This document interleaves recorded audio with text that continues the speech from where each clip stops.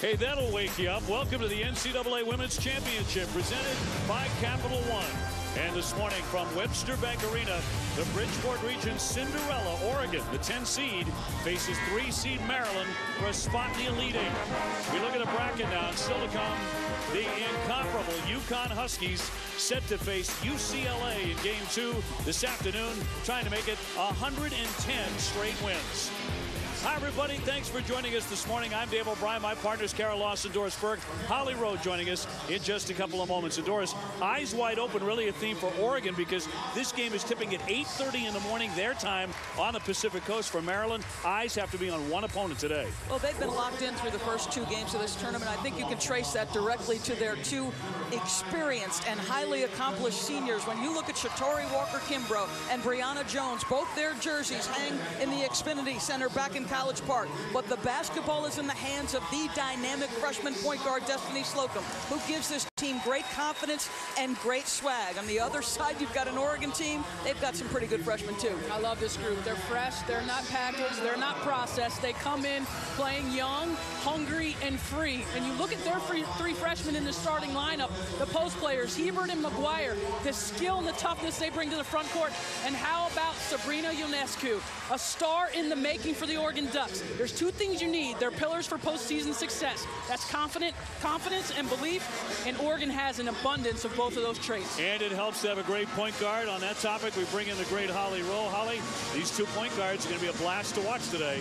Well, these are two of the best point guards in the country. Number one and two in the nation in assists per game among the top five schools but they are true freshmen, both of them in this experience for the first time. Think about this. Last year at this time, Oregon's Sabrina Ionescu was the MVP of the McDonald's All-American game, and she brings that same swagger to this Ducks team, scoring at almost 14 points a game while assisting at a high rate. But for Maryland, Destiny Slocum was in Meridian, Idaho, winning state championships last time this year, and she is doing a great job with composure and poise. I just talked to her in the layup line and said, hey, are you excited that you're in the Sweet 16 for the first time? She said, I feel great. She slept well last night, and her coach says she's never had a single freshman-like game this season. We'll see if that continues today. Thanks, Holly. We take a look at the Capital One starting lineups, and for Maryland, Jones, Walker, Kimbrough, and Slocum are the heart of the Terps. Slocum, the electric point guard. Maryland, the number one offense in America, getting 90 points a game. For Oregon, Ruthie Hebard and Mallory McGwire go 6'4 and 6'5 in the front court. It's a big team with six players standing 6'3 or taller, tied for the tallest team in the country. Now the Oregon men are into the Elite Eight with a big victory over Michigan. The Oregon Ducks on the ladies' side hoping to join them, trying to knock off Maryland here this morning at 11:30. And we are underway as the Ducks win the opening tip. Nice crowd on hand too, given the hour. Of course, a lot of UConn fans in attendance and waiting on game two. Cazorla, 5'10 sophomore from Spain. Ionescu terrific with the basketball and can shoot it too. On the entry, Heber down low. Went for the window and came up empty on the first shot here in Bridgeport today. Here's Slocum up top, the freshman from Idaho, and just dazzling. We've got an Oregon team that's going to change defenses under Kelly Graves, and you've got to check that young woman from three. She she's is, a great shooter. Yeah, she is as consistently solid from three-point territory as Maryland has ever had. In fact, the great Kristi Toliver was one of the best, and she has bettered her numbers. Yeah, only about 46% in her career from three-point land. Walker Kimbrough. Tell you what, the Ducks uniforms are going to wake you up if you're a little on the sleepy side. Between the two colors, oh, yeah. combination of both colors. Oh. Hebard back out for Bando, also deadly from the three-point line, but that shot clock is down to one. Zorla off the side of the backboard in a shot clock violation, so a choppy start. Although Brenda Frese loves the defensive effort, one of the elite coaches in America, 32 and 11 all time in the NCAA tournament, 6 and 1 in the Sweet 16. Pass tipped and Walker Kimbrough with it, averaging 19 points a game. We talked to Shatori yesterday about where she is in her career now as senior. She's brimming with confidence. Well, she should be because she's a totally different player than when she first walked onto campus in College Park. She's improved her game in almost every area, and she doesn't want to go out the way Maryland went out in the NCAA tournament a season ago, and that's being upset in the second round at home.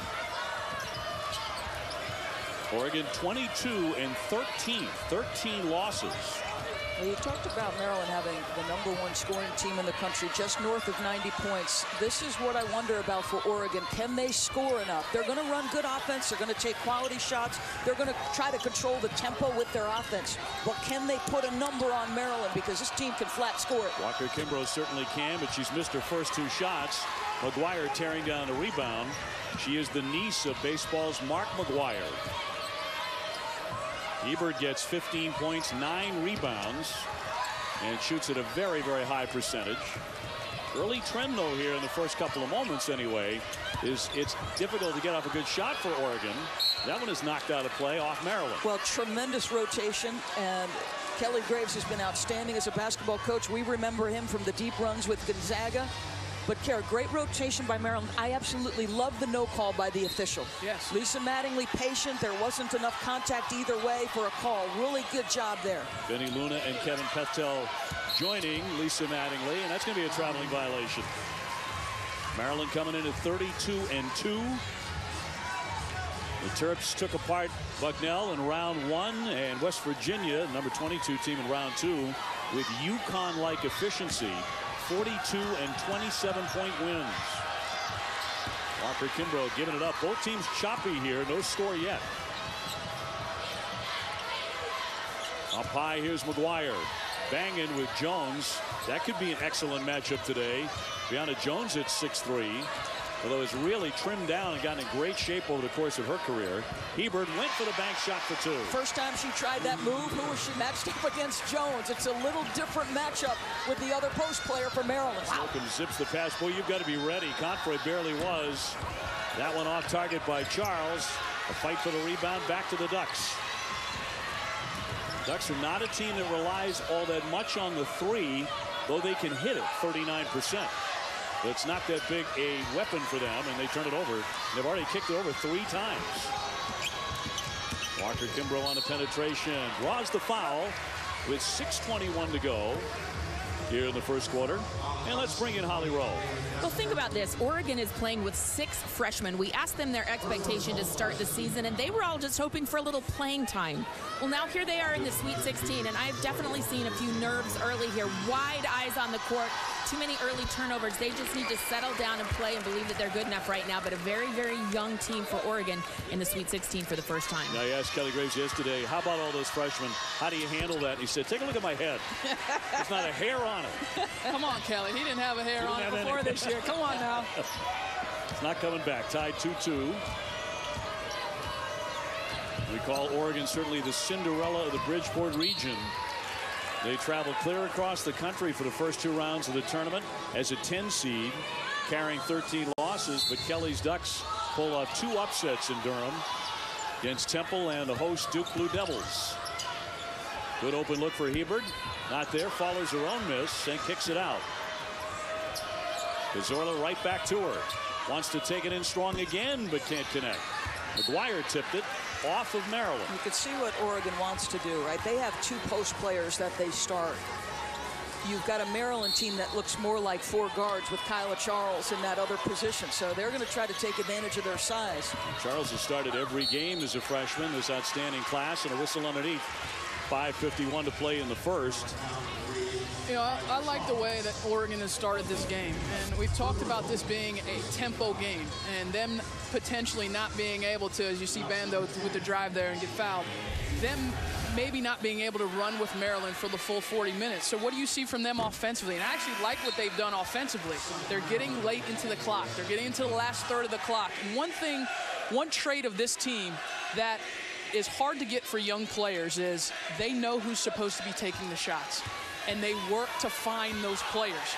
Sometimes you have experienced teams that, do, that don't figure that out. They know where their money is made, and that's the freshmen that have gotten them going. This is the other way they control tempo, too.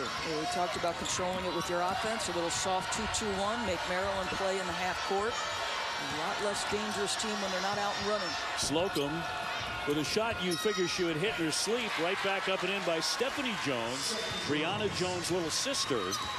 Little a relative term because she's 6'2". Yes. There's a nice synergy between those two, as you might expect from sisters. Tough catch by McGwire to tie up on the play. Possession arrow will go over to Maryland here. Kind of joking about Slocum taking a medium range jumper because of that amazing shot she hit against West Virginia. Two hands over her head, three quarter court, nothing but net. And we're going to show it to you a little later. The theft by Bando. She knocks it clean. And the short jumper by Ionescu is good. And that's not a, a press meant to necessarily turn you over. That's just a careless play by Maryland. Slocum weaving her way through Walker Kimbrough right back on top of the point guard. She thought about it. Just getting started here in the first quarter of game one. The regional semifinal Slocum. Yes. She is awfully quick. Both of these freshman guards, when a play breaks down, they have the ability to go score. And that's what's so fun to watch this matchup between Slocum and Ionescu. Walker Kimbrough went for the theft, got it. She'll drive it and score it. Well, you look at what these two seniors have accomplished. 125 and 16 between Brionna Jones and Shatori Walker Kimbrough. It is no wonder their jerseys are hanging at the top of the Xfinity Center. And very rare, even with a great offense, to see two players averaging 20 and 19. Mm. And they're both way up there in their points per game. Cazorla from Las Palmas, Spain. Nice move there. Well, she does what you have to do, right? Destiny Slocum Kira is trying to put some pressure on. So as a point guard, you, you, you put it to the deck. There's no baseline help. You go right at them. This Maryland team is tough to keep up with offensively. They shoot 51%. Another whistle, foul underneath, and 38% from the line. But that means they make every shot from all over the floor, especially Slocum. And more on that when we come back.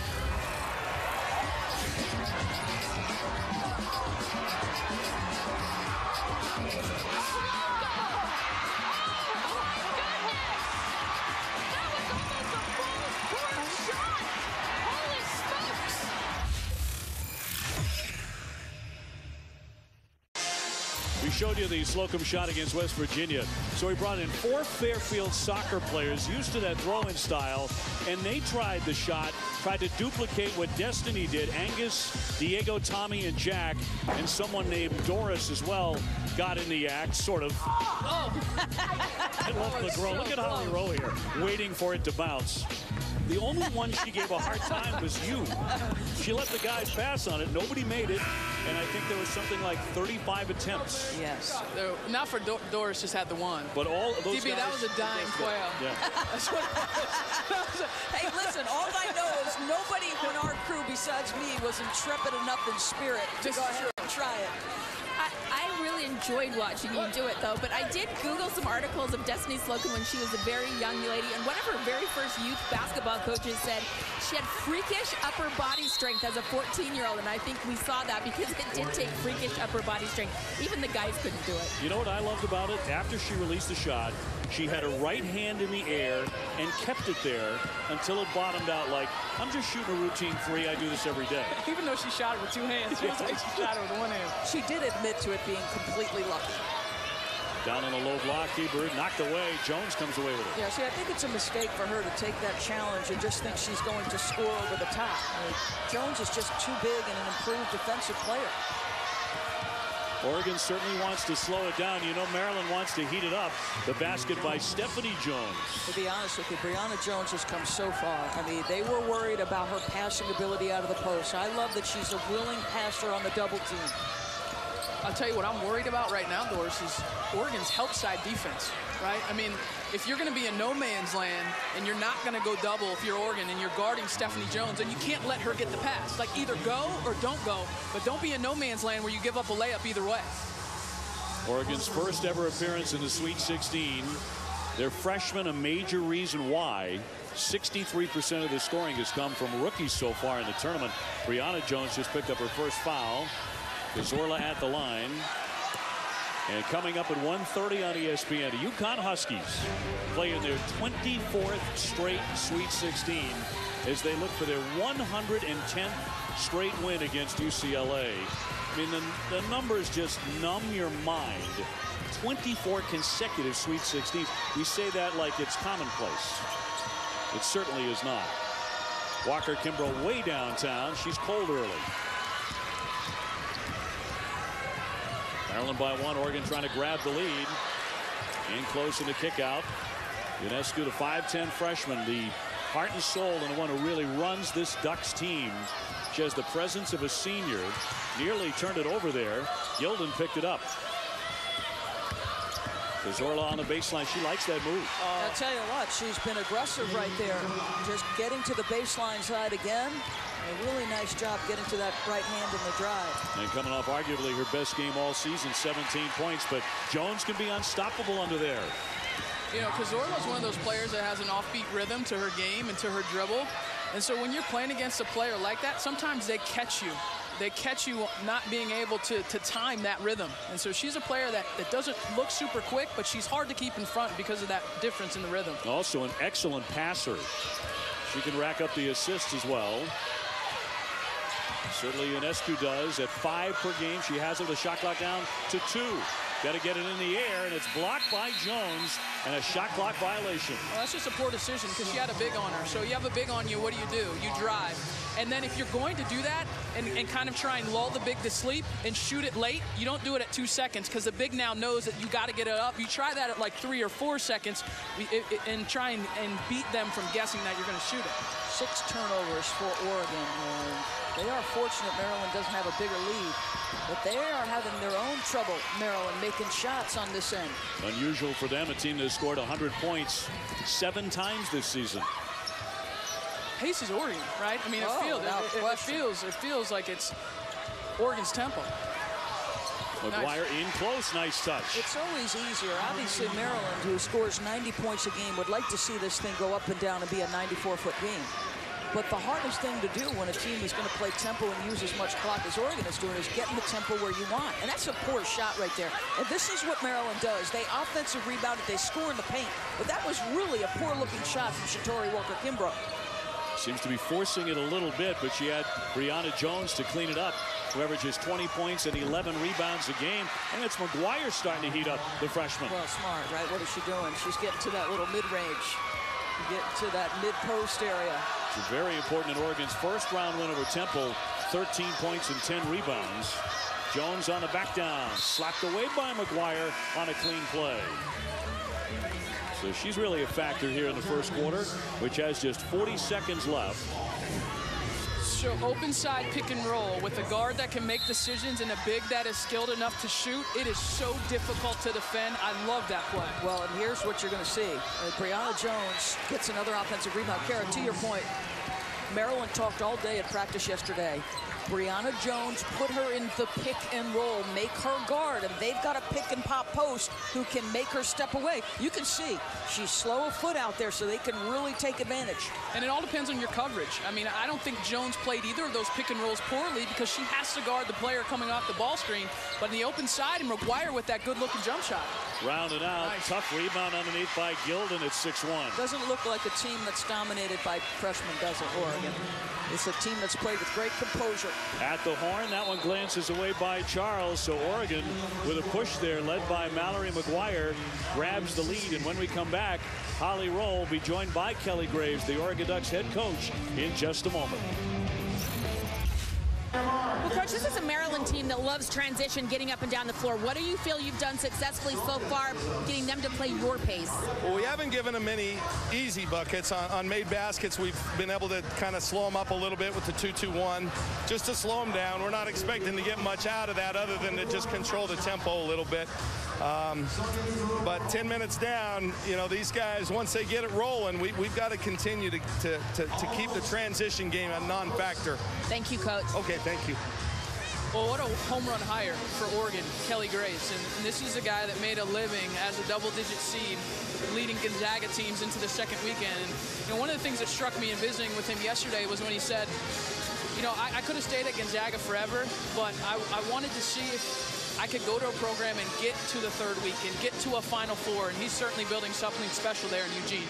In 2011, the 11th seed, he goes to an Elite Eight, seven years in the NCAA tournament, and obviously, you know, we talked to him about the support that the Oregon program gets. Other than the Connecticut Huskies in terms of Nike's support and the kind of equipment they get, et cetera, et cetera, the, the facilities at their disposal, he's in a really good spot, Kara. It's a program that hasn't had much success, and tell you, they locked in when they took over as a staff. They locked in on this particular freshman class as saying, hey, we've got to get these Pacific Northwest kids. And what does he do with them? He brings them to their first NCAA tournament uh, since 05 and first Sweet 16 in school history. Pretty good stuff. Very much a family affair for Kelly. His son Max, a practice player, traveling with the team and helping out dad 17-16 Oregon as we get ready for the second quarter. That first quarter, despite the pace certainly being to the liking of Oregon, there were 10 lead changes. And Lisa Mattingly going over to the official scorer here. So something's up for just a moment.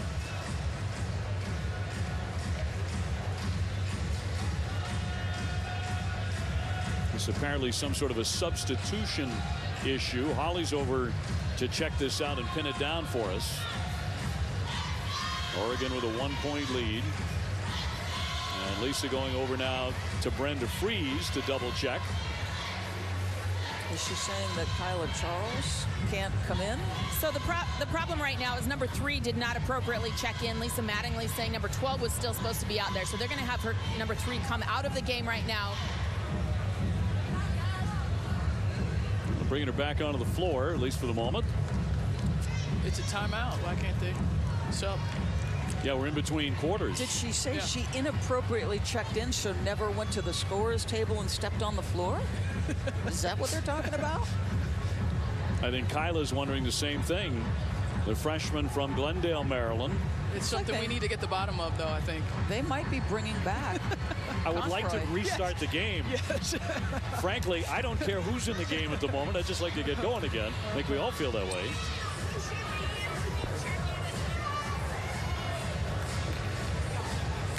So But Shatori, Shatori uh, Walker Kimbrough did not check in appropriately. So she's had to sit out here. They will ask her to check in appropriately with the officials when it's So here's the appropriate check-in after the throwout off the inbounds play. So I mean, it's a little bit a little bit rough for Maryland at the moment. Just a bit. Opening seconds of the second quarter. Thanks for being awake with us as we've hit noon on the East Coast. And, you know, Oregon says this is no big deal to start it at 8.30 in the morning their time.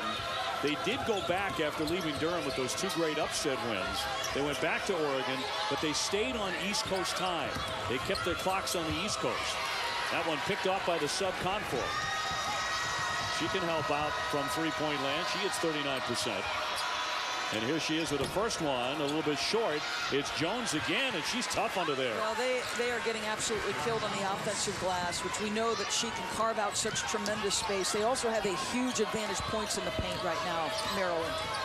Jones, incidentally, has set the all-time Maryland single-season scoring record with her eight points here in the first quarter as part of a marvelous career. Bando outside, deadly from three at 48%. Is the shot clock again a factor at five? McGwire getting the pass down low for Gildon. They waited a long time, but she hit it. Great catch. Boy, Slocum was working so hard to prohibit the catch, but that's why you stick with your offensive game plan. They saw the mismatch with Slocum on it. Ducks being very patient. Charles weaving inside. That won't drop. Jones again with a misfire. Rebound torn away by Gildon, who's making an impact. She's had an interesting sophomore season to this point. Her minutes in production kind of yo-yoing around. She had three straight games in December. She started, has not started in the last 21. She gets another touch, and that one comes free. And a foul against the Ducks to stop the clock at 8.24 in the second. And now finally, Shatori Walker Kimbrough will be allowed to re-enter the basketball game. The foul on Justine Hall of the Ducks. A little frantic here without Ionescu in the game at the end of the shot clock. And it's just a nice high-low pass there from McGwire to Gildon.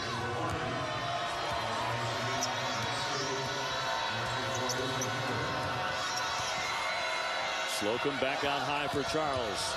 She'll drive it. Little contact. No. McGwire with another rebound. And another whistle. Just a kick ball by Confroy trying to prohibit the outlet pass. Still feels frantic to me for Maryland on offense. Like they're trying to speed up tempo by playing frantic, and that's not the way you speed up tempo.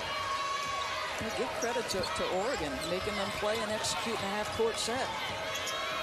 Ionescu lets fly. Not this time. On the outlet. Down low to Frazier. She'll work in close for two. That was a determined effort. Boy, just a tremendous job using the dribble and using it to get separation or get that defender right in the position she wanted her. Frazier more size, but a quick strike on the other end. And back and forth we go as the lead continues to change hands here in Bridgeport. Could be that way all day here. Walker Kimbrough beyond the three. The best three-point shooter in Maryland history. Out a play. 7.18 left in the half. Turnover starting to mount for Brenda Frese's team. Brenda winning the national championship back in 2006. Walker Kimbrough has to get the sneaker back on. Brenda was just 35 years old at the time. She says this Oregon team reminds her of her 06 team. Well, just because of the freshmen, the talented freshman class, and the fact that they win a national championship. And what she said throughout the course of that year was they didn't know any better. That they didn't know that they were supposed to be nervous in this kind of environment. And Kelly Graves told us the exact same thing yesterday. What did you say, my vegan friend in the open? You called them uh, not pre-packaged. Yeah, not packaged or processed. They're fresh, baby. They're fresh. Sitting there thinking the audience should know you're a vegan because that's such vegan language. That's right. McGwire denied good tight defense by Frazier on the run out it goes and again that offense is not in sync yet well you can't you can't in a rush to score the basketball and they have had three possessions and three straight turnovers you, you can't hit home run plays. Listen, if they're going to make you execute in a half-court set, you better prove at this time of the year that you can beat them in a half-court tempo game. Walker Kimbrough again lacing up that shoe. We'll see if it makes a difference and gets her started. She's been off target early. The kick here for Ionescu. Yes, a great look from three. There's certainly one team that looks more comfortable than the other, and it is the double-digit seed Oregon, who looks very comfortable. Frazier up high. Went in strong, and she'll take the hit. Fouled on the play. Well, a trip to the Frozen Four in Chicago is on the line today.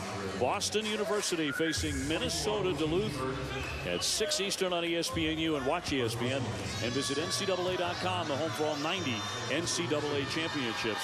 We have ice under this floor. Mm. And I'll tell you who it's driving crazy. My partner, Kara Lawson, who decided to go Coat. after the open. Yes, coat. I had to. In the full winter gear. I had to. Fashion be damned, I says to. Kara Lawson. I had to go with it. It's freezing in here. It's freezing. it's freezing. She'll drop in the shot to make it 24 to 21 with 6.21 remaining. Here in the first half in Bridgeport. I just knew we were doing that Frozen 4 promo. That's uh, that's what I was going for.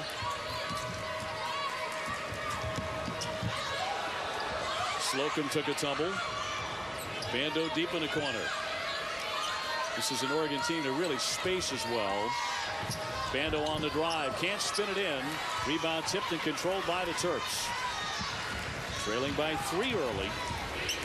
Again, the top offense in the country at 90 points a game, but so far not looking like it, and they commit a foul. Foul will go against the Terps here.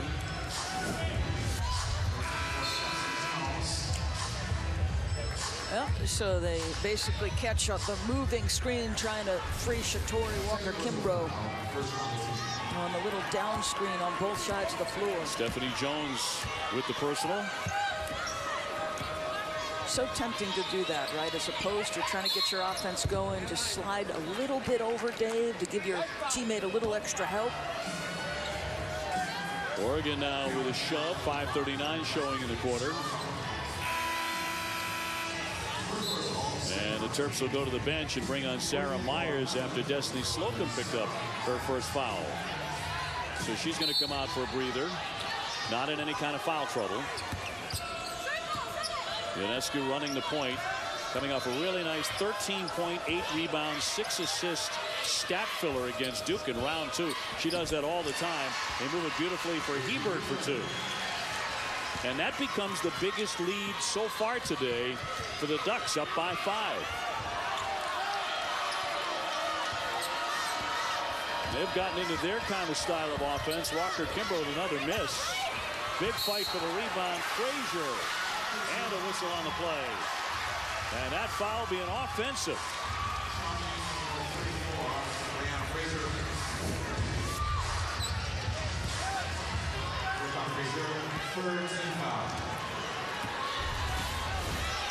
I didn't love it.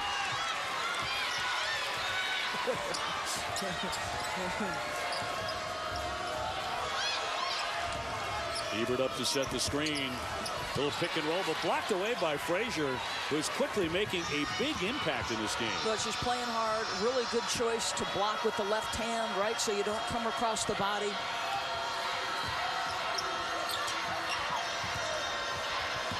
Terrapins would love to get number 32 going on the offensive end. They already have Jones hot. Well, you can see the activity of Fraser on both ends of the floor to me. Uh, just a little face-up move, and an efficient dribble. They haven't been able to stop Brionna Jones whenever she's been able to board it or on catches in the post area. You would think she'd get a touch then every time down the floor, already into double figures. And Walker Kimbrough has been chilly. There's McGwire on the baseline. She likes the shot, not there. Walker Kimbrough will start the run now for Maryland. And they do want to do that. They want it up tempo. Thrown away by Walker Kimbrough. She looks out of sorts. Completely. Unusual for her. Very smooth senior. Zorla denied. McGwire. Under four minutes to go here before halftime in Bridgeport. Ionescu, yes, all net from three. Well, this kid, there's no question whose basketball team this is. You watch Ionescu on tape, she, she is not afraid to get into her teammates when they make mistakes. She's the hardest working player on the team. They respond to her leadership, Dave. McGwire will pick up the foul, and she took a hit. She's in some pain. But the foul will be on her as we go to the break, and it's Oregon by six. Coming up on the Northwestern Mutual halftime report, Maria, Lobo, and Coach Landers break down Oregon and Maryland. And so far, only 23 points for the nation's leading scorers. Yeah, Oregon has offensively controlled the pace this game, but you're almost just waiting for that inevitable Maryland run. They, they really have. The tempo has been the key for Oregon.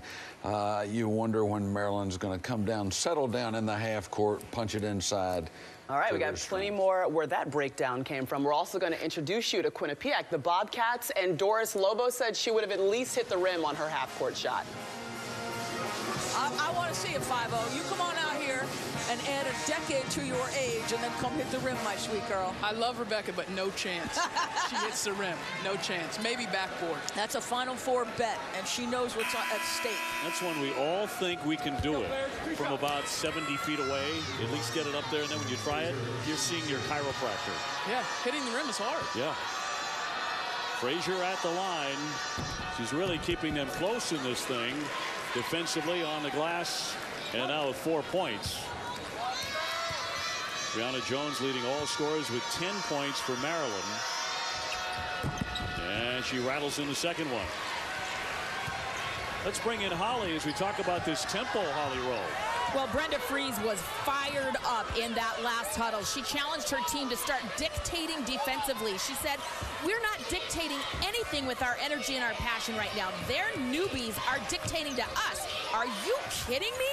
She can't believe that this young, inexperienced Oregon team is so composed right now, and her experienced Maryland team is playing tight. And then they got to the bench, and Shatori Walker Kimbrough was sitting on the bench. Brenda touched her on the shoulder gently and said, hey, you're pressing right now. I need you out there playing free. She's got her on the bench right now to get her mind right. Yeah, she's one for six, Holly. Had a tough time giving the basketball up a couple of times, too. The foul there on the baseline is they're making sure to get it to Jones. That'll go on Hebard, her second. One for six and three turnovers for Shatori Walker Kimbrough. So it's not just about the missed shots. She's trying to hit home run plays on her drives and making mistakes. Confroy's pass picked off. Stolen away by Gildon. Has nine turnovers for the Maryland Terrapins. Corner jumper Cazorla too strong and Slocum there for the rebound. That's another thing she can do at 5-7. That one batted away by Gildon. Oregon is just more active. I'll tell you what they're doing. They are in a dead sprint, Dave, in transition defense on missed shots or turnovers. You're seeing those green jerseys sprint back. Wow. And how about Miss Ionescu? Ionescu, excuse me, who we talked about in the open. Kara Lawson talked about she's got eight points, three assists, and three rebounds. And this is not a player who necessarily is going to pop off the screen in terms of athleticism. But what about an impact for this young lady? Well, she's a star in the making because she gets how to play the game. I mean, she's the best player on the floor, but she doesn't have to take 30 shots to feel like she's the best player on the floor. So I love her pace and her rhythm, her tempo. And Oregon, uh, I'm surprised. I'm surprised that they've been able to come in and not not necessarily compete, but win win the first 18 minutes. I mean, that is that is an accomplishment for this young group. I think the shocker is it goes back to what Holly said. They look like the more poised basketball Yes. team, ready to go here this morning, as opposed to Maryland, which has been battle tested. On the baseline, Hebard, no. Big fight for the rebound, and now Maryland wants to run. Slocum hasn't done too much here in the early going. Jones, that's a tough catch. He whirls in, can't finish. And a whistle with 2.02 to go in the half. You know, you, one thing you look at, uh, when you look at the Pac-12 record for Oregon, they took some lumps uh, in what has been one of the stronger conferences in the country, and you could look no further than the Sweet 16 makeup of the Pac-12. But for Kelly Graves and his entire group, one thing they said to us yesterday is, we couldn't guard anybody at the start of the year. I'm impressed with what they're doing on the defensive end of the floor. But Cazorla right by everybody. She went right at Jones and knocks it down. In a timeout, Brenda Frese, she is not happy with a minute 47 left in the half. Oregon playing with a lot of life and a lot of poise. And they have opened up a six-point lead here not far before the break. We talked about Shatori Walker Kimbrough, one of the best players in the country, a senior, but a case of the bobbles today. Yeah, a drive, two drives to nowhere. She's driving into size. On a couple of those, she turns it over. On that one, it's a missed opportunity. I mean, her timing is off. Her passing is off. This is a player, Shatori Walker Kimbrough, Dave, with 2,140 points. She of the 46% three-point shooting. She is an ESPNW All-American, but to this point through the first half, not quite there. The mind's a powerful thing. And when you are a senior and you want so badly to get your team to the next round, sometimes that impacts the poise with which you play. And I think that's what's happened to Shatori here in the first half. Tie up on the floor here. Possession arrow will go to the other end. So everything right now is breaking the Ducks' way. 22 wins, 13 losses, but right now the better team against 32 and 2 Maryland. I tell you, Brenda is always open to us recording her pregame and halftime speeches. It is going to be an interesting Maryland locker room at the half. Zorla on the drive. That's a great pass. Gilden, but from behind, Charles with the deflection. And a foul. That'll go against the Terps. They'll get Charles for that personal. Check it. They're going to get Brionna Jones for this one. That's going to be her second. Yeah, and that's costly if you're Brionna Jones. You, you just can't. I'm sorry. Going to go back to Charles as we had it originally. you know, Gildon's given them some great minutes. I was a little concerned when when McGwire or, Hebard would go out of the game and say, okay, what is Oregon going to have in the post to be able to combat? And Gildon has given them very good minutes. Her activity defensively, I think, has helped change the game for Oregon. She's been very, very good here. Gildon drops it in, a 75% foul shooter. 33-25, and you see the shooting percentage from Maryland, but today just 30%.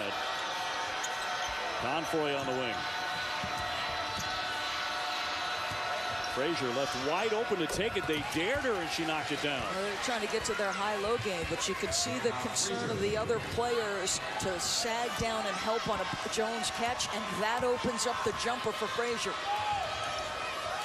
So these Cinderella Ducks coming off back-to-back -back upsets in Durham of Temple and Duke are trying to pull it off again, but against the number three seed that many thought would go to the Final Four. Tough catch by Bando. Shot clock at six. Baseline right on the line. Ionescu got it from three. She absolutely bottomed it out to make it 36 to 27. What a big shot with that shot clock. Largest lead right now for the Oregon Ducks. And Ionescu's fingerprints have been all over this half. She has 11. She's heated up. Slocum fumbling it out of play off her. Right back over to the Ducks. We talked about the leadership that Ionescu, just a freshman, she stepped on campus and started holding people accountable. Why? Because she puts in the time, doesn't panic under duress of the shot clock. And if you know anything about Kelly Graves, this is what you get from his coaching. She waited until the last possible moment to come to Oregon, too. On the feet, swatted out of play. Fraser all over it. Where would they be without her? Oh Point four remaining before halftime. That's the kind of block shot that makes you think twice inside. Ruthie Hebard back on. More size for a tip here. That's all they have time for with four tenths remaining. What a half, though, for the Ducks. They are wide awake indeed. And tossed out of play. That's how the first half comes to an end. Outstanding block, but Maryland, frankly, didn't have enough of that. And Oregon has shocked the Terps here in the first half. They end the half on a 12 to 4 run and lead at 36 to 27. Let's go to Holly. Well, Sabrina, it took some time for your team to get your first points in this game.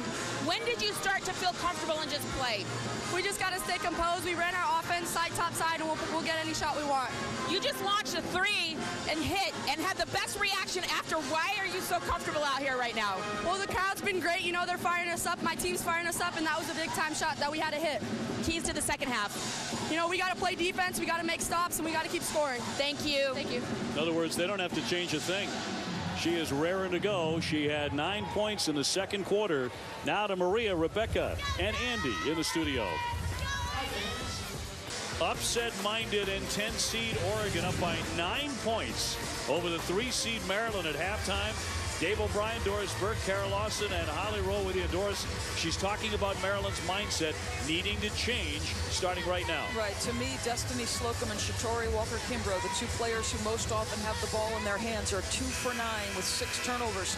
Kara, they're trying to hit that 10-point play she referenced. They've got to settle down and get back to themselves. You know, you look at this game big picture, and coming in, we said, what will Oregon have to do? Control tempo and make Maryland play in the half court. Don't let their offense get going. And they've done exactly that for the first 20 minutes. It's been a great game plan for Kelly Graves and the Ducks. Well, Maryland goes right to Shatori Walker Kimbrough, who struggled so mightily in the first half with the turnovers and one for six shooting. She draws the foul. Well, smart by Brenda. You've got to get her started. And if you think about the starters for Maryland, aside from Brionna Jones, who went five for 10, how about the other four were a combined two for 15 in the first half? With all that said, if Shatori Walker Kimbrough makes his free throw down seven, Yeah. and, and so in the game, still very much attached. And, you know, let's see if this pressure helps them try and speed up the tempo for Oregon. Lana McGwire picked up foul number three, so keep an eye on that. She's been a big factor at 6'5 in the middle for the Ducks. And picked off by Walker Kimbrough. In transition, strong attack for two. There's two mistakes right there. One, there's too much space and air that has to be covered by that pass by Ionescu, and then nobody stops the basketball in transition. Oregon had been so good transition defense, nobody picked up the ball. Oregon's first ever appearance in the Sweet 16. Their youngsters, their freshmen, have been dynamite all season long. That's another sweet move by Cazorla. I love her rhythm. Isn't it, isn't it nice? I mean, she just has all these hesitations, keep you off balance, and then just finds a way to skate her way to the basket. She's definitely an interesting piece for the Ducks. I used to hear Steve Nash talk about this all the time as a point guard he'd say, I may not be the fastest guy in the league, but I'm the one with the ball, and I'm the one who's able to dictate the speed at which the game is played when I've got it. Rebound batted around. Look at the effort by Jones. Tied up on the play. The possession arrow will go to the other end. It belongs to Oregon. But Brionna Jones, the 6'3 senior, scrapping and fighting. Now, she played very well in the first half. Was a major reason that the score wasn't worse at halftime. As she had 10 points and seven rebounds and two block shots.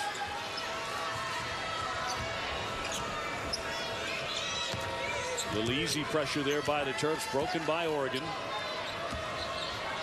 Trying to make it three consecutive upsets in the NCAA tournament. And the winner to take on the winner of UCLA and UConn coming up later today here in Bridgeport. Shot clock down to five. Cazorla again weaving her way in. Tried the window. Nice follow up and in by Hebard, who did not have a very good first half. Three for 10 shooting. 40 to 31. Nine point lead again. And that one thrown along the baseline. Walker Kimbrough corner. No. Charles with a rebound. And she's going to be traveling with it. Kyla Charles with a turnover. They've kicked it over now 10 times. So here's the substitution. And what did Oregon say in their scout is we're going to let number three shoot. We're going to let her shoot as many as possible. And so Brenda Frese now comes with the sub in Fraser. And Fraser's shown that she can hit that mid-range jump shot. Somebody other than Brionna Jones is going to have to come to the forefront and score for Maryland. Ionescu, great feed underneath, but Hebard could not finish it. Tight D by the Terps. They want to run. Slocum so far has been a bit of a non-factor. The freshman who has lit up many opponents in a spectacular rookie year, but quiet thus far. Fraser's been a lot noisier, almost made that. She'll be at the line. Well, she's got seven points. She had seven points. You see how confidently she's playing. Let's get to the block on the defensive end of the floor. How about this recovery by Walker Kimbrough from behind? This is a big development, guys, because Mallory McGwire just picked up her fourth personal foul. She is going to have to come out of the game. Talking about eight points, four rebounds a game, but a real presence at 6'5 in that paint. And out she comes. And she's going to be replaced here by Gildon, the 6'1 sophomore. Well, already we see the Fraser substitution paying dividends, right? Just a little more aggression, a little more size down low. Charles is, is more of a perimeter threat in terms of uh, her size. She's not going to necessarily post you up one-on-one -on, -one on the block. So I like Maryland going with a little bit more of a physical front line. Ionescu in the corner, long jumper. That's in and out. Jones tearing away another rebound. We'll see if Slocum can work some magic backing down. Here's Jones. She spins. Terrific move.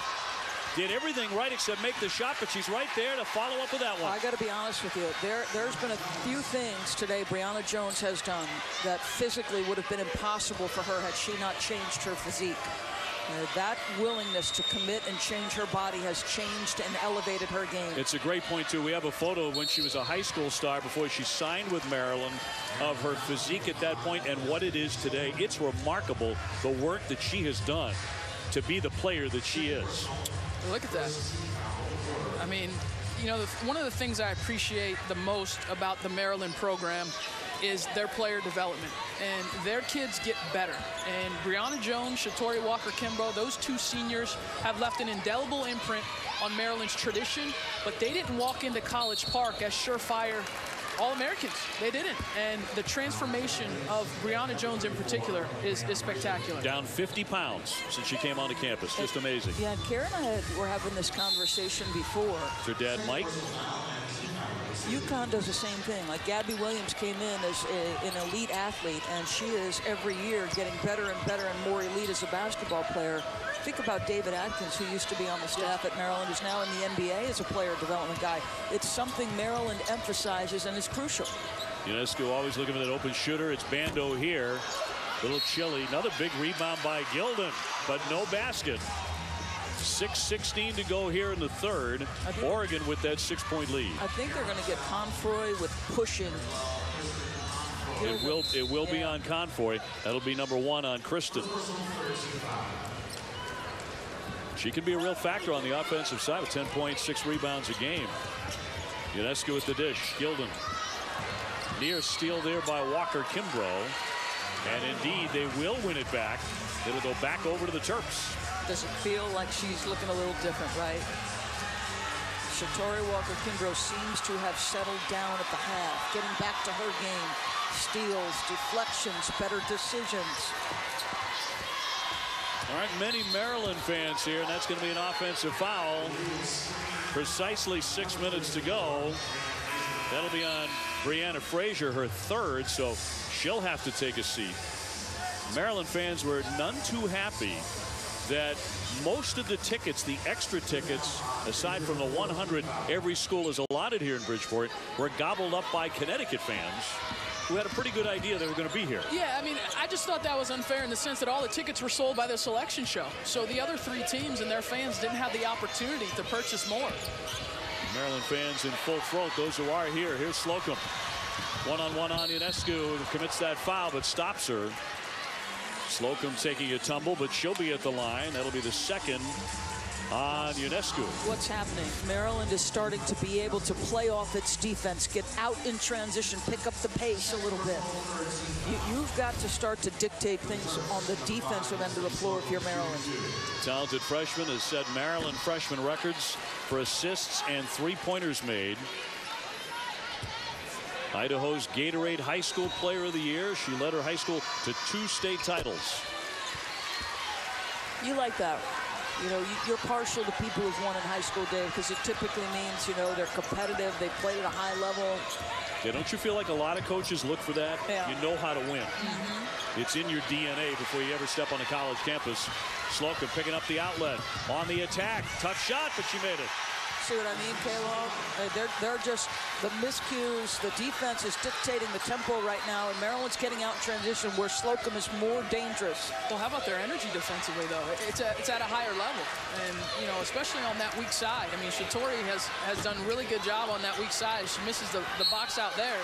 Up but, and in. Count that. She'll be at the line. But I think their activity is, is raised a little bit. And, hey, sign me up for the Gildon bandwagon. I mean, hasn't she been great? I mean, she's been great today to give them a boost off the bench. And you referenced it, Dave, when McGwire picked up her fourth foul. And I'm not saying uh-oh so much because of the way that Gildon's playing this afternoon. Makes 57% of her shots. What a big lift she has been for Kelly Graves so far today. On the other side, though, you got to feel like Maryland is doing everything that Brenda Frese asked of them at halftime, right? Oh, no question. Walker Kimbrough in particular went for the window and missed it. Ionescu with the rebound. And that's her game. Now, we saw her make some turnovers, but typically when, when Shatori puts it on the deck as a driver, she's going to shoot it.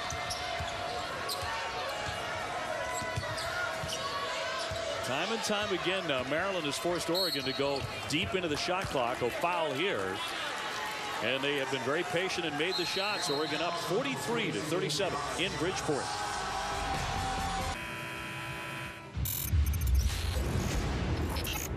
You're not supposed to be in the Sweet 16 with three freshmen.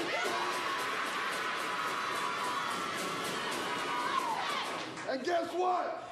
It was us or them.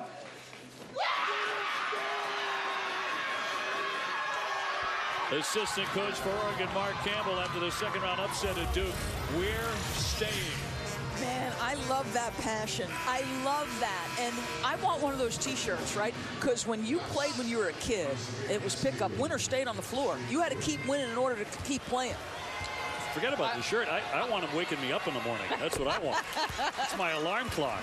I need him talking to me while I'm going through my workout. That might help. The hype man. I, I might be able to work on getting. I'm, I'm kind of the queen of, of, of swag, so I might be able to work on You getting are. your shirt. All I know, I want a little more sweet talk than that, though. I don't know what you're talking about. 45-37 Oregon. Still maintaining that poise after Maryland made an outstanding run in the opening moments, Holly, of this third quarter. Right, and that last time out, Kelly Graves, the Oregon coach, really praised his Ducks. He said, I'm so proud of you for handling their punch. We knew they were going to come out of the locker room punching at halftime, but we handled it. Now it's time to start punching back on our own. They want to continue to get mismatches. They forced a switch with Brionna Jones and Ionescu that picked up a foul on Jones. They want to continue to calm composure that handled that punch nicely. Well, Holly, anyone who watched him work at Gonzaga, he's doing exactly the same thing here. There's great spacing. The ball, changes sides of the floor. In fact, I was talking to the Connecticut staff. They're like, boy, they look similar to that, us. Run good offense. The right people, as Kara said, are taking the shots. The ball is spaced. They seek out the right matchups. This is such a well-coached team. Keep an eye on this, though. Hebard with foul number three a moment ago. McGwire already has four for Oregon. They go 6-4, 6-5. Two freshmen and another outstanding freshman there, Ionescu with two. Well, that's exactly what Holly just touched on. They got the switch. Ionescu had Brionna Jones, and she said, well, I'm going to work. Exactly what Holly just touched on. So quietly, Oregon is back up. Their biggest lead of the game at 10 points. Slocum trying to calm everybody down, but right now the Terps do not have a go-to. Up top, Jones. Yes, that's Stephanie Jones to bury the shot, the freshman. And her mom in the house as the baby, the 6'2 freshman, is doing well. They need a slew of others to start to heat up. Talking about the top offense in the country in the Maryland Terrapins.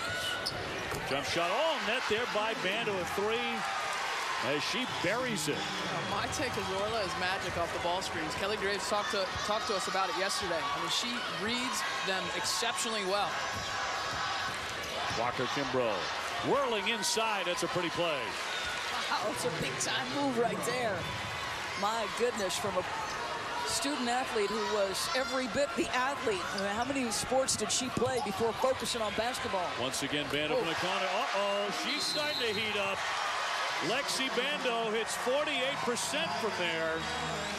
Second most attempts on the team, more than half her overall shots. That's about automatic for her.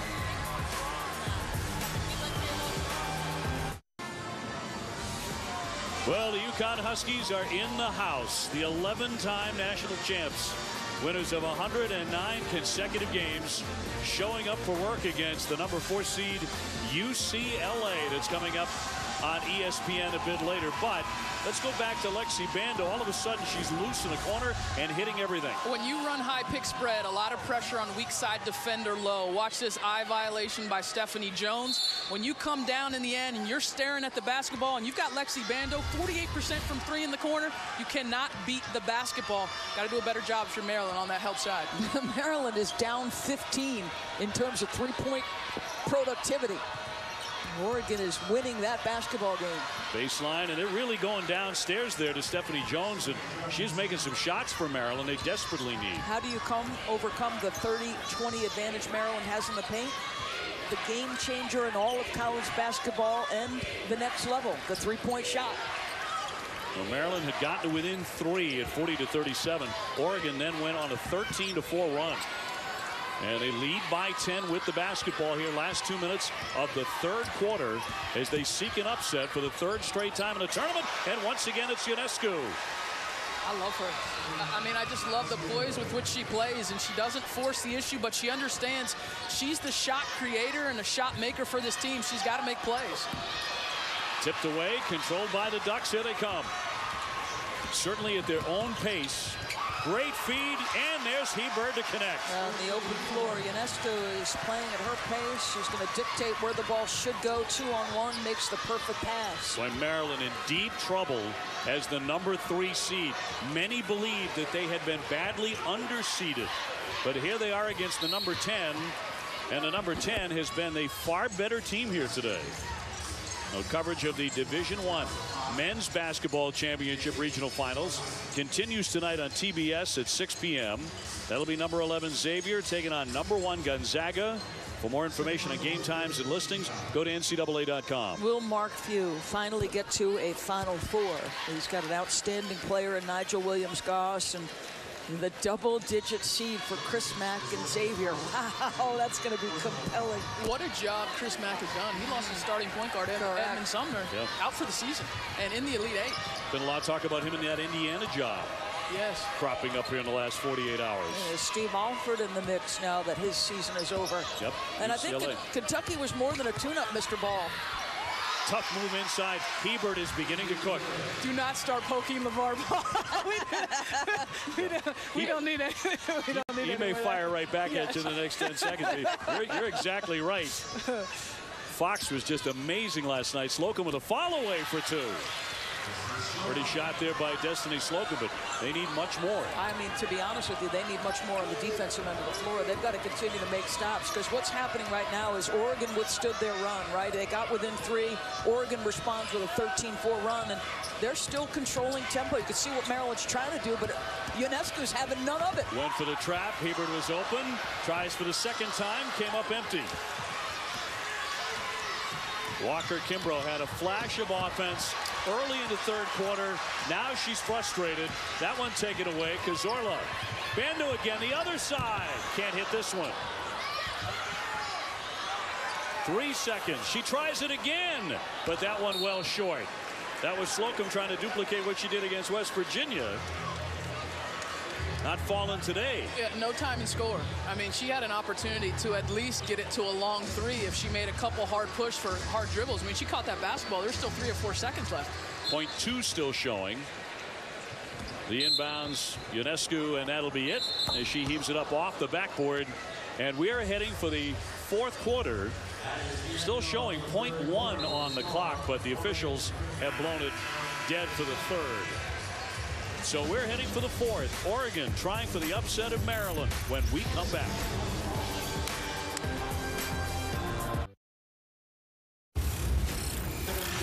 Welcome back to the Bridgeport Regional here with Maryland head coach Brenda Frese. And coach, you have been imploring your defense to make them feel feel you. Why can't your defense get it together so, so much? I wish we could find our team. I mean, Oregon has a lot to do with that right now. I mean, they're uh, making us pay on every mistake that we have. So uh, disappointed. We got to find a way in these next 10 minutes uh, if we're, we're going to advance because right now they're picking us apart. Their big post players out with four fouls. Can you bang it inside more and go with Brionna Jones? Yeah, I mean, we're trying to get more uh, touches, but uh, we got to be able to not turn the ball over. Uh, we got to be able to make plays and uh, get back to some poise and composure. Thank you, coach. Thank you. Brionna Jones does have a double-double, 12 points and 10 rebounds. At times, she's been all by herself. Well, 16 turnovers for the team, uh, but Kara, Destiny Slocum, and Wa- Walker Kimbrough both have four, so they've combined for half of those 16 turnovers. Now, the third quarter, Maryland shot the ball better, 54%, but Oregon hit 53%. And despite having two key bigs in foul trouble, they had others, Kara, pick up the slack. I- I mean, this performance by Oregon, it's been complete. It's not like they've come out and hit 12 threes and say, you know what, they just had one of those shooting nights. It's been offensive execution. It's been a great attachment to the game plan on the defensive end, and they've gotten contributions from everybody they've put in the game. It's fascinating. We We're just talking about the Indiana men's job. The reports are coming out that Archie Miller is going to take that job and leave Dayton and become the new coach for Indiana. Well, he's done such a magnificent job at Dayton, and because they have such good support, great fan base, I think it's it was going to be a special job that he left for. And you talk about the great traditions, Kentucky, North Carolina, Duke, Indiana, right there amongst those high-profile jobs. But here in Bridgeport, the Oregon Ducks are the big story. All the way across the country, they continue to play great basketball. A turnover there, but up by 10 in the fourth over the number three seed Maryland. Maryland has yet to make a three. When you're down 10, you could use a momentum bucket from deep. I'm taken back to the conversation we had with Destiny Slocum yesterday. And we talked about knowing when to set up your teammates and knowing when it's time for you to score. Destiny, it's time for you to score. It's time for you to attack. It's time for you to look to make shots. We know as Jones hit that basket and now has 14 points. She did that against UConn. It was in the second half of that game where she put the game on her shoulders. They wound up only losing that game by six or seven points. From the corner again, it's Bando. Lexi Bando, what a story here in the second half. Well, they're leaving her spaced in the corner. You've got to give a ton of credit to Ionescu to have the vision and understand the read to deliver that pass. 62-51. Walker Kimbrough, another miss. Jones has to clean it up. She's been doing it all day. A one-man band. Yeah, I think if you're Oregon, you'll trade twos for threes all night long. Coming up on the eight-minute mark of the fourth.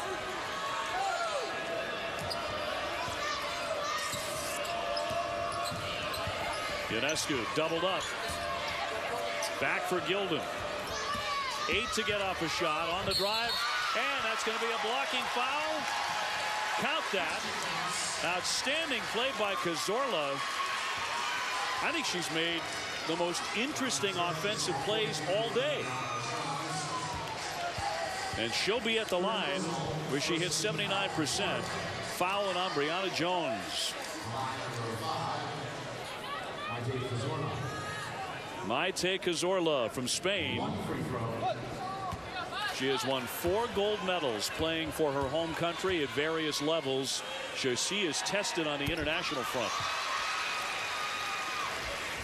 And I think that speaks to the poise with which she's played all day. In fact, the entire group has played with. Up by 12 in the fourth quarter. And turned over again by the Terps. Well, they've turned it over 17 times.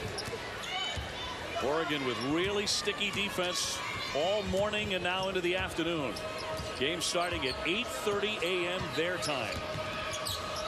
Cazorla got the pass free. They move it well for Hebard. Blocked. Looked like Charles got a hand on it. Maryland in dire need of a long run to get back in this game. Slocum trying to start it but can't. Rebound picked off by Confroy in the second effort. Very puzzling. Shatori Walker Kimbrough the day that she has had as a senior up against all these freshmen. Slick feed and Charles connects.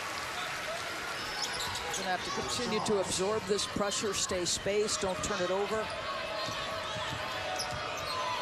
Gildon handing off for Cazorla. Gildon another hero today. Well, what is she doing in addition to what we've already talked about? The pressure release she's given them on the pressure. Ionescu with eight to shoot it. Now down to five. Knocked away by Walker Kimbrough. Battle for that as the shot clock did expire. Turned over. Walker Kimbrough. Here's Slocum's three. She was wide open but could not stick it. That is not a good sign for Maryland. They're a good three-point shooting team at 38%. She's made 71 at an incredible clip, almost 38%. Ionescu. Oh, a terrific feed for Hebard. Seventh assist. She, she, you know what? What did Brenda Frese say to, to Holly Rowe? They're picking us apart. It's Ionescu who's picking you apart. Oregon led the Pac-12 in assists. You can see why. Such outstanding spacing, and they look for each other relentlessly. Walker Kimbrough. No, her cold day continues. Jones going tumbling out of play. And a shove on that one with 5.41 left. Let's watch Ionescu picking apart this defense because watch what happens. Look at her, all of these players around here and she's going to make this read to the corner all the way across. Now, you've got to be thinking ahead of the play in order to make that pass. And on time, on target, an easy opportunity. This young woman is creating great looks for all her teammates. McGwire back in with the four fouls for Oregon. The last one went on Gildon. Over the top into the backcourt. Not a backcourt violation because it went all the way into the backcourt before anybody touched it. Slocum spinning, whirling. No, it has not been her day. So far, the day has belonged to the Ducks. You can see Kelly Graves twirling his fingers like saying, okay, let's use clock here. Confroy went down. Bando's open. Not a good idea the way he, she has been shooting it. Big rebound, Gildon. Right back up. She's had a marvelous day. I'm driving that thing. I'm telling you, I am driving the Gildon bandwagon. What she's been able to do today, above her averages, her impact on both ends of the floor, she's been locked in and focused. Terrific. 11 and 9. A typical day for her is four points and two rebounds. Yep. But if you're going to go on to the Elite Eight, you need something like that, someone who comes out of nowhere. Fraser driving it, banks it in, and a foul too. She'll be at the line. And don't misunderstand something. We'll talk about this on the other side, but should Oregon advance, she can be a crucial piece should they face the Huskies. More to be played here before we get to that. Maria, thank you very much. Here in Bridgeport, Connecticut, a story developing. The 10 seed Oregon at it again. On top here, 69-57. Still time for Maryland. But it is also time, I think, to start talking about what a feather in a cap it is for the Pac-12 the way that Oregon has played in this tournament. They were 8 and 10 in their conference. They lost 13 games, and yet that conference so tough. They look battle tested for an environment like this. Well, I think you can point going back to last year's Final Four where yep. two Pac-12 teams get in. The influence of Mike Neighbors in terms of the schedule and good drive by Shatori Walker-Kimbrough and a nice efficient play.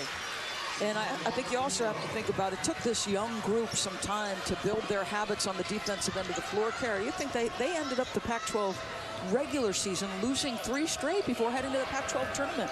Yeah, 8 and 10 in the Pac-12. I mean, this team didn't play like this all season long, and it's a testament to these young players staying consistent, working, and then this coaching staff to bring a young team along. Uh, you know, them peaking at the right time, that is a skill as a team and as a coaching staff and a philosophy to get your players to peak at the right time.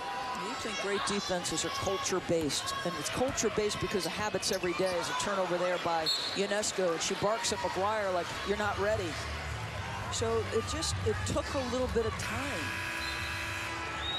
Hey, the NIT is heading to New York for its Final Four. Semifinal action tipping off Tuesday at 7 Eastern. CSU Bakersfield taking on Georgia Tech on ESPN and watch ESPN. Walker Kimbrough can she heat up in time? Another bank shot. She's made a couple now in the last minute. And that cuts the lead to eight. Suddenly she has 14. But every time the Terps have made a run, the Ducks have countered it. They've done it with poise and patience. Still so much time here, so you've got to continue to generate quality shots. You see the aggressive trapping now for Maryland and another strip. Jones takes it away and a foul on the play. Ionescu getting a little frustrated there. She's picked up a couple of fouls. Well, she's also picked up the basketball against a trap, and you've got to anticipate that coming. Use your escape dribble, so keep the dribble alive, Dave, and back it out to create more vision for yourself. Kara, that's four on her. Uh, you got to be careful here if you're Oregon, because you know Maryland now is in desperation mode, and Ionescu's got to understand they're going to trap her and bring the double every time off of that ball screen. Has to be prepared for it and look to get it out of, out of her hands quickly. This is a big possession for the Terps. Walker Kimbrough wants it, lost it, came out of her hand and saved by the Ducks. Now she steals it back and lays it in. So you got game pressure in an NCAA tournament environment for a young team. And Kelly Graves saying, let's go, let's run good offense. Maite Cazorla with Jones at six foot three bouncing out there on the baseline. Bando with the catch. Kelly, three minutes to go. Kelly Graves has three timeouts at his disposal. So if he doesn't score on the next possession, would he use one if necessary? Gets a big score there, and he uses one there. Ionescu, the freshman, freshman in name only, knocking down a big shot to make it 71 to 63 under three minutes to go. We take a look at our Capital One Cup impact performance. She has been dynamite again today. This is a typical game for her. That's exactly right. She contributes in every phase, and it is not eye-popping athleticism. This is basketball smarts, and that play right there is typical.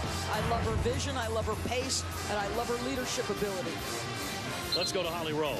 Well, she was also a very unusual recruitment. This program changer drew out her recruitment, not arriving on campus till the day before summer school was supposed to start.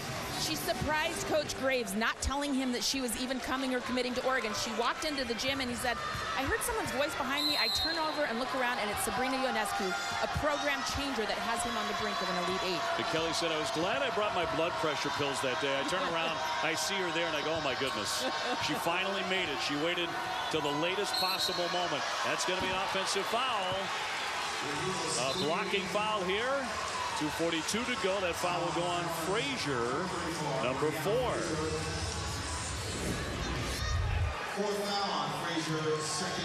Number four. I disagree. That's a terrible call at a crucial moment for Maryland. Wow. Looked more at how Bando reacted to the screen yes. than actually the actual screen itself. So Cazorla trying to penetrate. Bando so dangerous from three once she got going. Shot clock at eight for Oregon. Ionescu around and out. Jones has the rebound to start the break to Slocum. The Terps typically score around 90 a game, so the Ducks defense has been suffocated. In the paint, Fraser. One pass too many. Ionescu trying to beat the field. Can't connect. Hebard up. Misfiring. Pull it. They should pull this out. 145 to go. Oregon dreaming of another upset. The foul on Jones. Her fourth. Time running out on Brenda Frese and the number three Terps. Talking about double-digit seeds like number 10 Oregon. This would be the third double digit to advance to the lead eight. Kelly Graves did it previously at Gonzaga. He did it as an 11 sheet back in 2011. Trying to run some clock here. Ionescu to the paint. Taking her time. 125 to go. This is typically when you start to scramble and Shatori gonna foul her. And put a very good foul shooter at the line, 81%. Actually not there yet. So that's their fourth. So one more to get there. 122 to play. And that foul will go on Slocum. So her third. 71-63 Oregon. Time to shoot now for Hebard to make 70%. I just got to say this. There's a lot of time left and free throws to be made. And you were talking about Maryland cheating. I, I, will tell you in no way, shape, or form did I ever, ever have the sense that Maryland had overlooked Oregon. They were locked in. They knew this was a good team, a well-coached team. This was about Oregon coming in, understanding that they had to do certain things, control the tempo, not give up easy baskets in transition, and doing everything their coach asked. This was not about overlooking a team. Up to 10 once again for that Oregon lead. And it's just about time to turn out the lights on the Maryland season. They turn it over again. That's been a big part of the narrative today. 106 to go. Well, you've got two great careers coming to a close if you're the Maryland Terrapins. You, you have Brionna Jones and Shatori Walker Kimbrough, both highly productive. Both have been to a Final Four. Both have been integral to the success of the program under Brenda Frese. Cazorla to the line, 79%.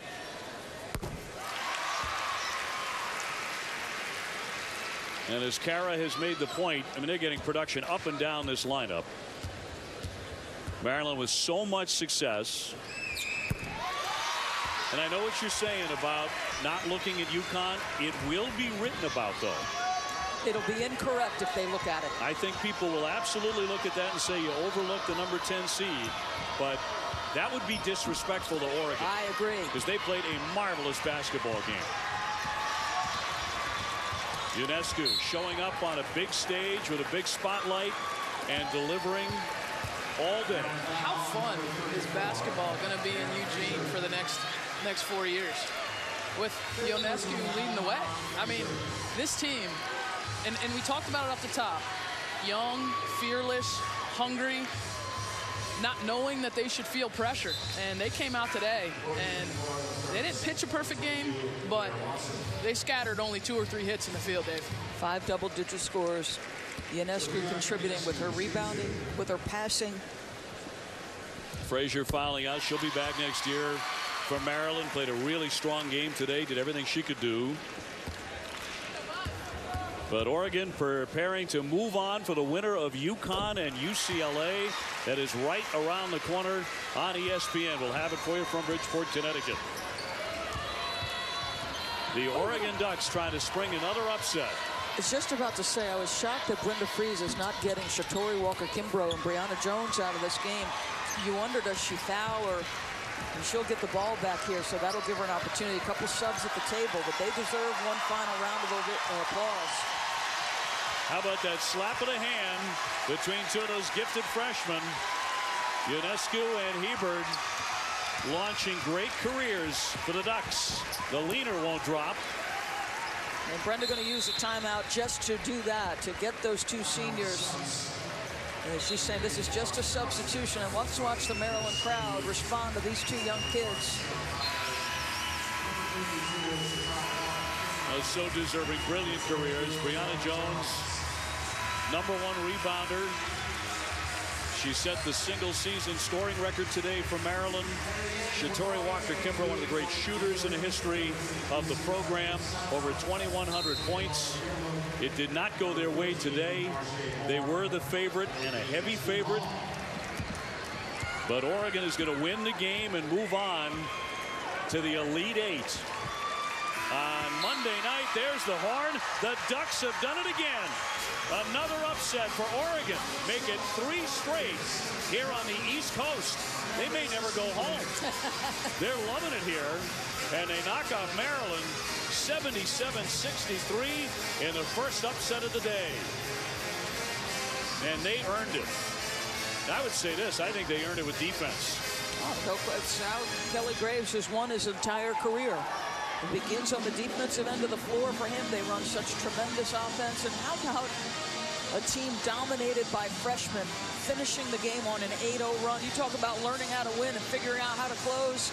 Welcome to the Elite Eight, the Oregon Ducks. I think Kara started using the word poise around the first quarter, and we repeated it many times. They were the more poised team here today and fired up to be moving on as we go to Holly Rowe. Well, Ruthie, you guys came out in the second half expecting a big response from Maryland. How did you weather that storm? Uh, I think we just focused on our defense. Definitely defense won the game for us. Yes! and that's how we did it. You did. This is a team that scores 90 points a game. What was the key defensively? Um, we definitely had to stop. Uh, they're all a good team. We had to stop Brionna especially. She's a great post player. And I think we just went out, played our game, and we got the win. Why is this Oregon team so comfortable on this stage? I think it's because we have nothing to lose. Coach tells us every day we have nothing to lose, and a team with nothing to lose is a dangerous team. And we go out and have fun, and that helps us. All right, Ruthie, big question for you. What happens to the winner? We go to um, the Elite Eight. Good answer. I, I what days? Winner stays. Sorry. she got it right on both counts. Yes. they are staying. They're not going anywhere. And whoever has to face them in the next round has their hands full. They are the Cinderella in Bridgeport, and they keep on winning 77-63 the final. The studio update coming up next. Here comes Maria Taylor in the studio.